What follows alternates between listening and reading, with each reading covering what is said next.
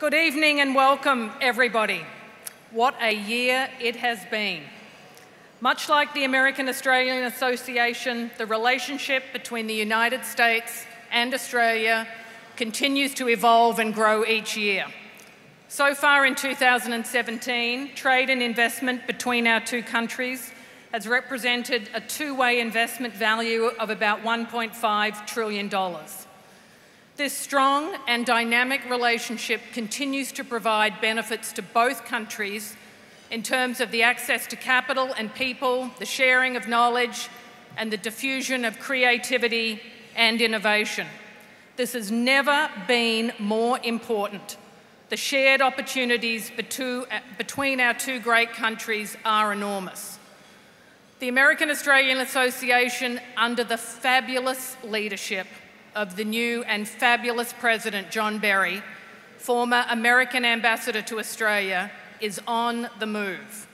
We have refocused our strategic vision and mission around four central pillars business and innovation, education and intellectual exchange, veterans, and the arts. And I urge everybody in this room tonight, as friends and supporters of the Association, to find your particular passion amongst these four pillars and help us to grow and expand. There is much to do and much to be excited about.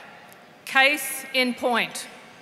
The Association boosted the American Australian Alliance by bringing the President and the Prime Minister get together aboard the Intrepid on May 4th this year in celebration of the 75th anniversary of the Battle of the Coral Sea.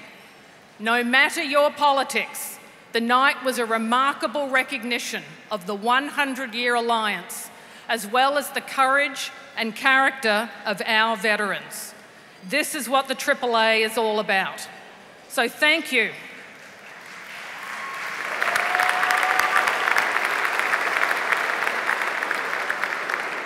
So thank you for your generous support, and many of you here tonight supported us.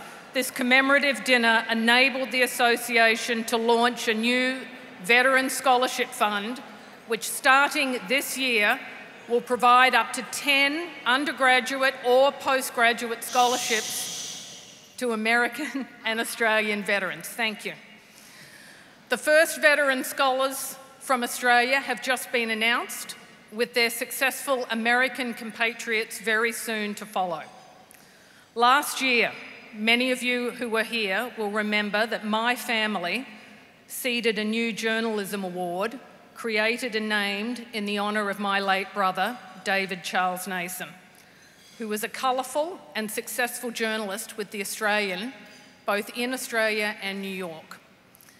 During last year's benefit dinner, Rupert Murdoch and my boss, Jamie Dimon, made additional significant contributions, unexpected contributions from the floor, as did many others in the room.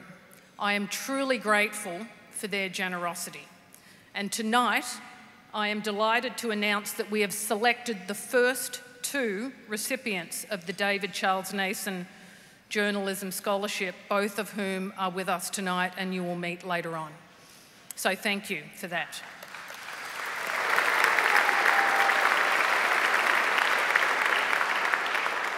Another very exciting and long overdue initiative has been the establishment of a joint postgraduate Indigenous scholarship between the AAA and the Aurora Education Foundation.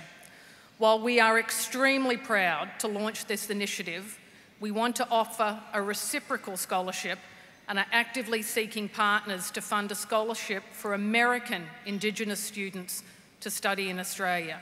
More on this to come.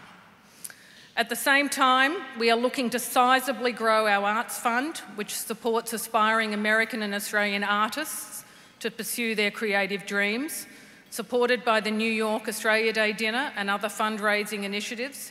It is our hope that we can double the size of the fund each year for the next three years. Finally, the AAA has a 70 year history of active engagement in the business community. Our relationships are deep and very long standing. And the business community across the United States and Australia has generously supported our activities for many, many years. In fact, Sir Keith Murdoch and a group of prominent American business leaders established the AAA specifically to foster and expand these business linkages. So an active business and innovation agenda remains a key strategic pillar for the association and in 2018 we will be reinvigorating our efforts with the help, support and leadership of our key patrons and key government partners and we are thrilled that our new Consul General Alistair Walton will be joining us in this effort.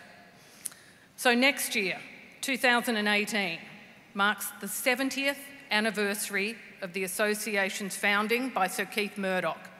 And in celebration of, of this milestone, the association has produced a 70th anniversary commemorative journal, which I am holding, which we are unveiling for the first time.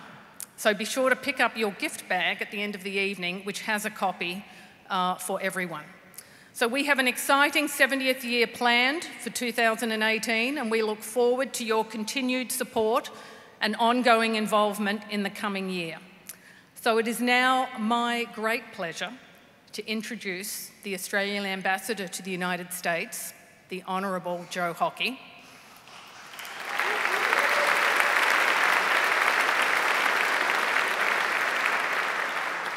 Joe is doing just an amazing job creating opportunities for Australian companies and championing Australia, and his support of the association is deeply, deeply appreciated.